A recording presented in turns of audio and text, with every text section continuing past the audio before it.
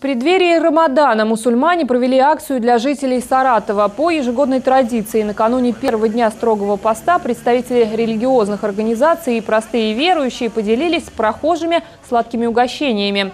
В коробках, которые раздавали саратовцам на проспекте, находилось небольшое количество фиников, фрукты, которые символизируют священный для мусульман месяц. Финики упакованы. Это в честь Рамазана. А, Месяц Рамазан у нас, э, как называется, благословенно, но месяц милости, добра. Да, мы хотели вот поделиться с людьми этим настроением. Завтрашний день у нас первый день Рамазана, поэтому таким э, небольшим доб- добрыми делами, э, радостью хотели начать этот месяц.